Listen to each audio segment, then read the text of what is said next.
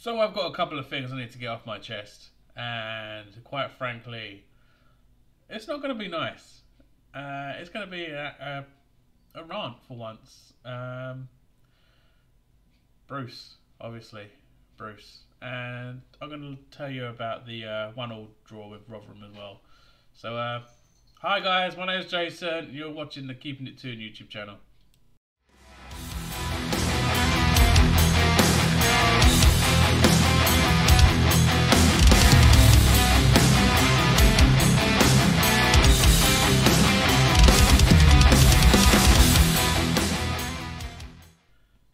Guys, I hope you are doing well and welcome to a morning uh, video from me for once. Uh, by the time it gets uploaded, it probably will be the afternoon, but I'm recording this in the morning. And uh, after seeing a statement from Bruce, which I well, what I believe to be a statement from Bruce last night, um, I got quite annoyed. I got quite angry, quite pissed off and I felt I needed to vent my anger out at it.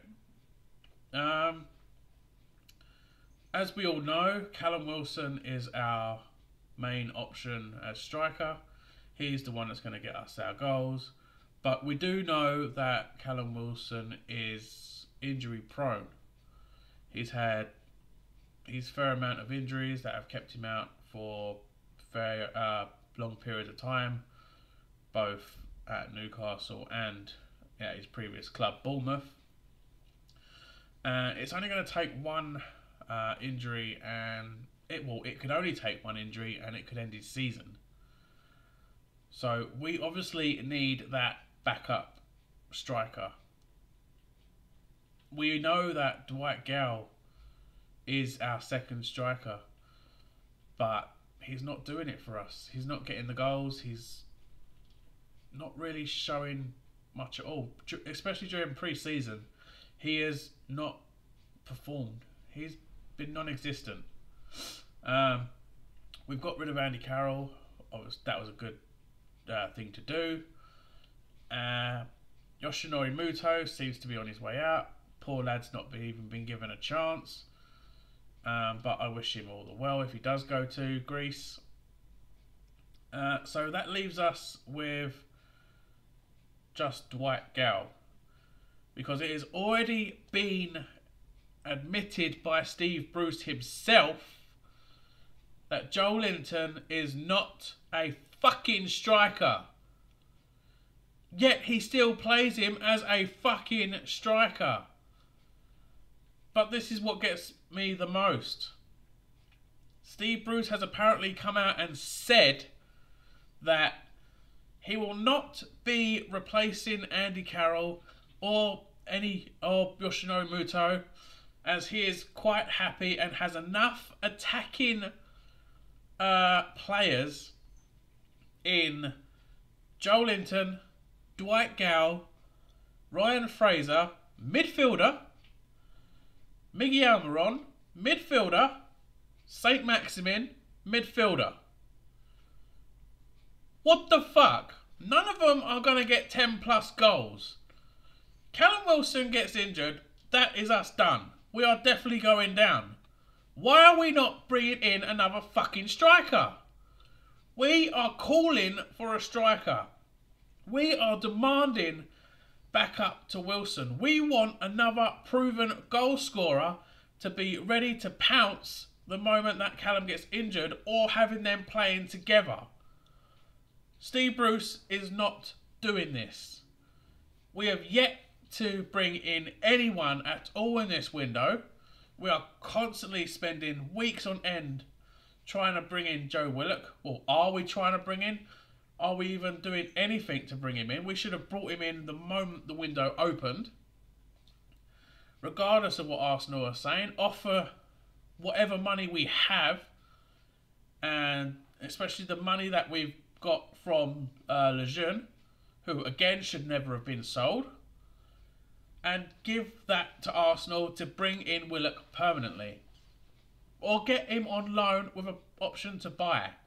We need players in. If we're just going to bring in Willock, I still see us going down. because we're having the exact same team as what we had in the second half of last season. We need a good three players minimum that I feel to give us any chance of finishing outside of that relegation zone.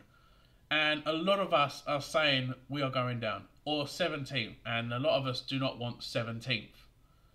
Definitely not 17th. We don't want to be that one that survives by a point or by goal difference. Bruce is absolutely fucking clueless. Throughout this pre season, he has been fucking useless. We lose to York City, five leagues below us. Yes, you're going to run and say it's only pre season, it's all about fitness. We should be fucking beating a team five leagues below us. Seriously, York fucking City. We put out a first team squad, okay, minus the goalkeeper. But I thought Dan Langley did pretty fucking well. We lose. The defence was non existent there. They did not protect the goalkeeper. We were not even fighting. York City were outplaying us. We move on. We go to Doncaster. Uh, League 2, League 1. Yes, we won. But again, the defence is not protecting the keeper. It's not always going to be the keeper's fault. The defence needs to be there to protect him. We concede two at Doncaster. Yes, we scored three, but we still conceded two. The defence is not there. We leave that with a win, fine. Then we go to fucking Rotherham. Oh my god, Rotherham.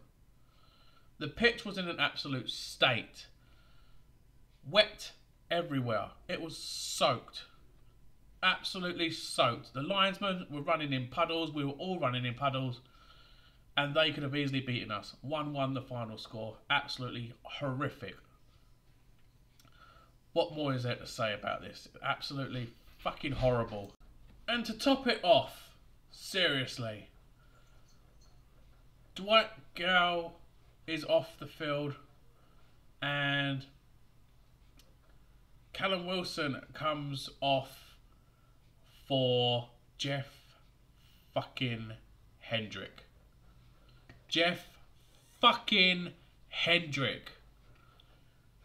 Okay, fine. We'll get. We'll say fine. Preseason, get him his fitness, whatever. Fine. Okay, deal with it. He's playing him as a fucking number nine. He's up front on his own. Come off the hour, come off the fucking saviour. I don't know why I'm saying this. We get a corner. Jacob Murphy, yet again, brilliant. I'm so happy he has signed a new deal. He uh, whips in the corner, and Jeff Hendrick gets his head to it and scores. He gets the equaliser, and we end the game 1 1. To be fair, Rotherham could have still gone on and won the game 2 1. They had so many chances. They outplayed us all over the field. At least you could say roughly 75 minutes of that game was all Rotherham. We were awful. Yet again, Steve Bruce does not do tactics. He has admitted he does not do tactics.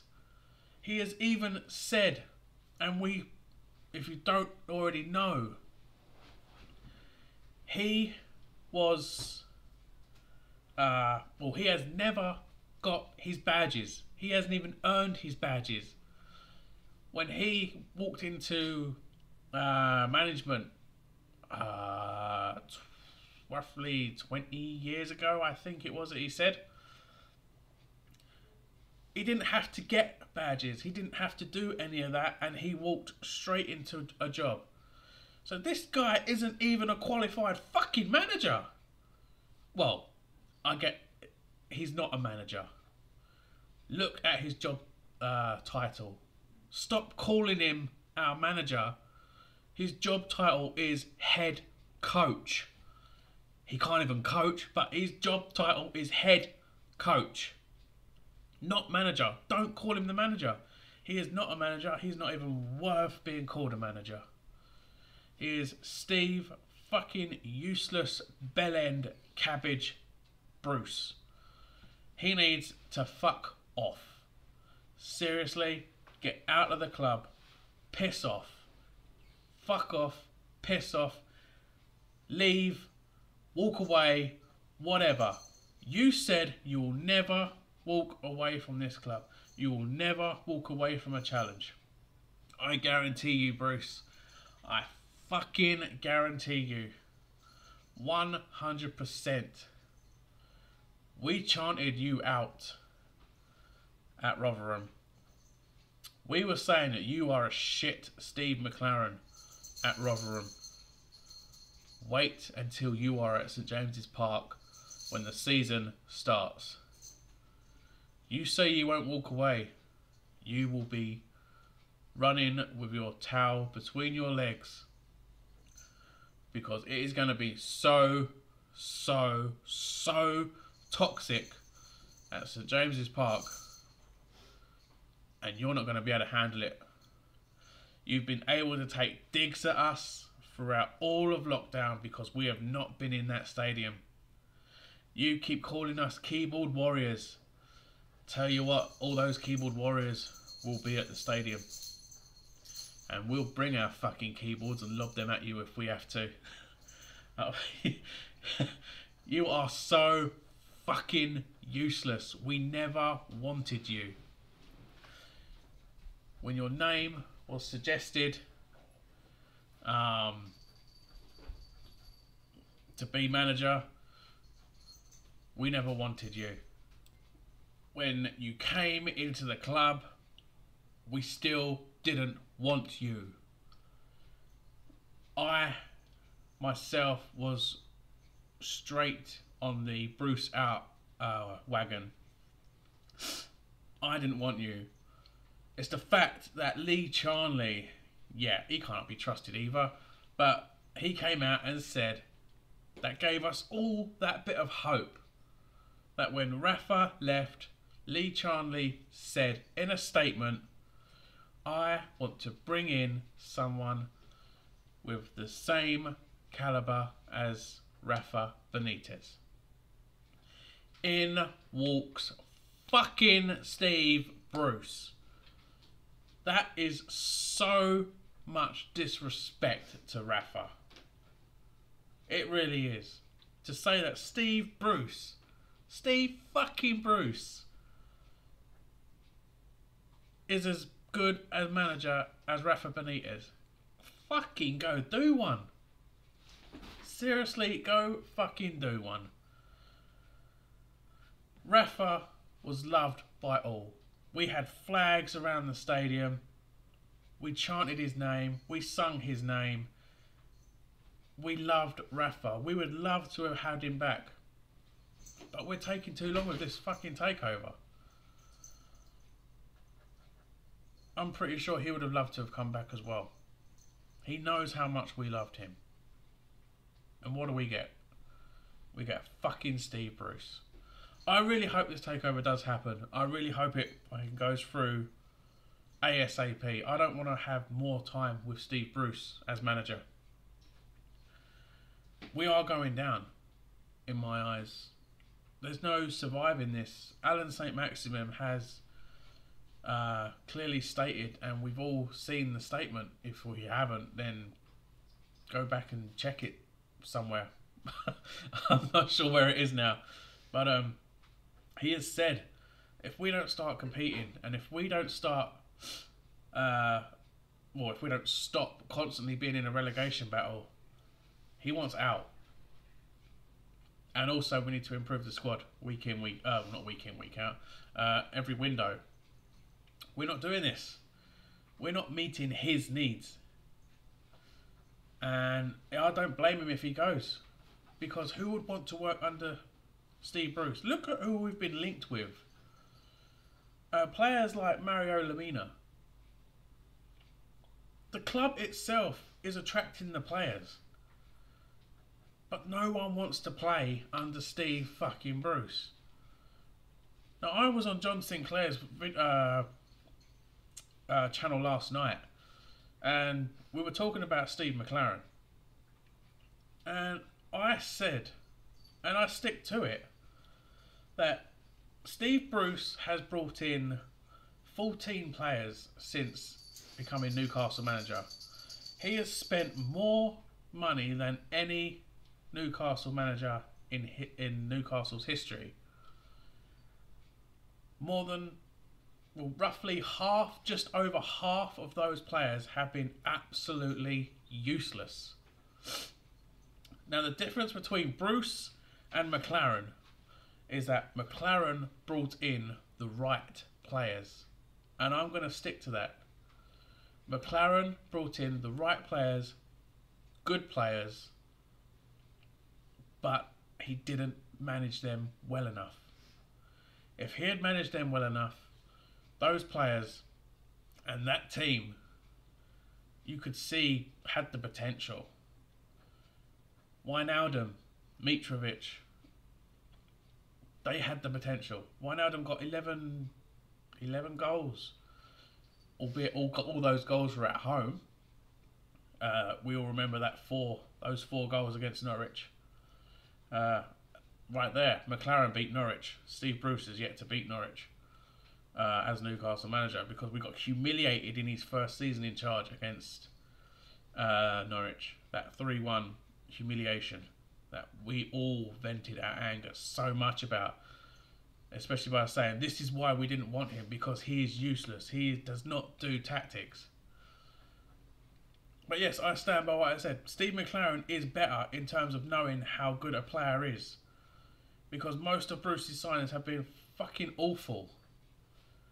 Uh, Emil Krafth, I think, has been a useless signing. Um, Joelinton, useless sign. Yes, you can say he's he's an Ashley buyer or he's a Rafa buyer. Rafa didn't want him, especially not for that amount. But whatever, it still goes down as a Bruce signing. Joelinton, Emil Krafth, Jeff fucking Hendrick. Ryan Fraser, unless he starts to prove himself this season, has been fucking awful. Andy Carroll, in my eyes, he shouldn't have returned because look at how he play, eh, look at how he done over these last two seasons. One goal, you could say two goals because he scored in a pre-season game, but one goal in I don't know how many appearances it was because he barely had any any any game time. Uh, coming on for the odd thirty seconds here and there. Awful. There's five right there. Um, who else has he brought in? I want to say uh, Jamal Lewis, but I know there is a player there. There is a very good player in Jamal Lewis, and he's just been bruised. So I won't, I ain't gonna mention Jamal Lewis. Um, who else we got? I get the feeling Mark Gillespie shouldn't really have been uh, brought in. I don't see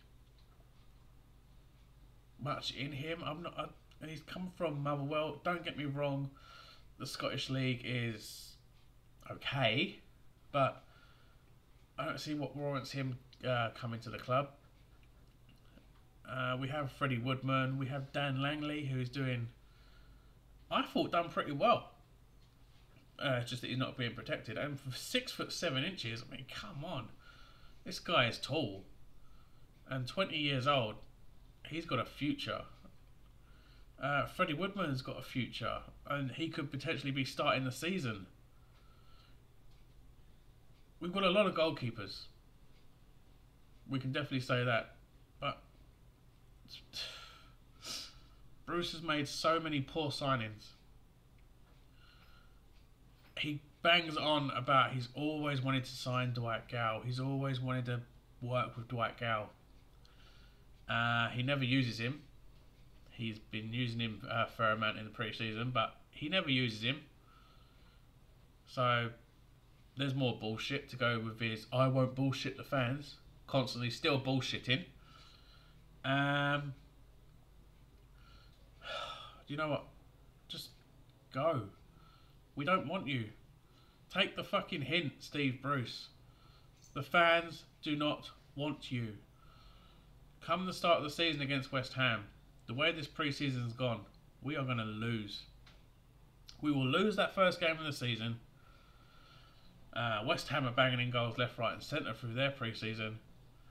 Um, and if we lose to West Ham, it's not going to be just toxic throughout the game. When that final whistle goes, you will hear absolute twice the amount of toxicity throughout the game that has been aimed at you. And you will know what it's like. You can take your digs at us uh, when we're not there, but now we're there. You'll keep quiet. You won't be you won't be taking digs at us. You'll stay quiet, and we know that because we will be using our voice, and we will drive you out. Um, I don't know what else to say there.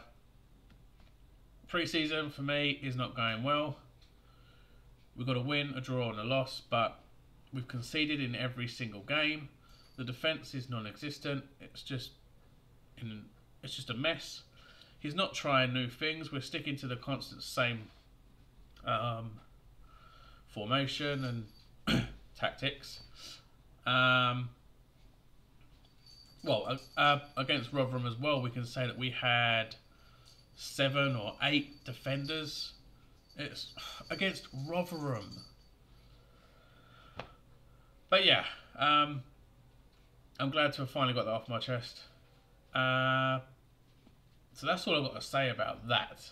Now, on to another subject. Um, there's been a uh, a photo being leaked that could potentially be our new away kit.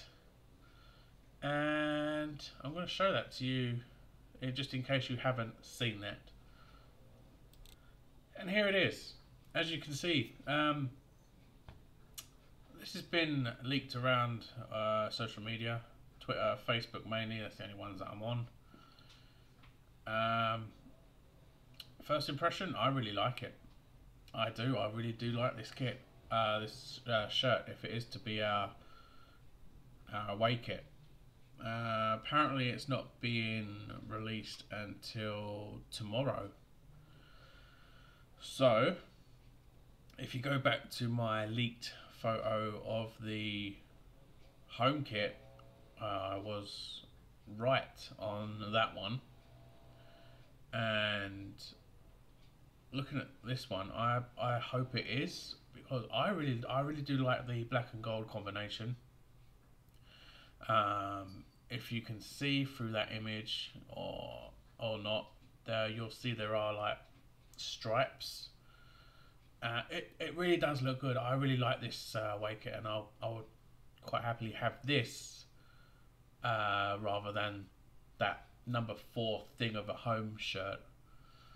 Um, but yeah, this is what looks to be the new away kit for us that has taken so long to appear. So long. This should have been released with the when the home kit was released. But um, I don't know what's going on there.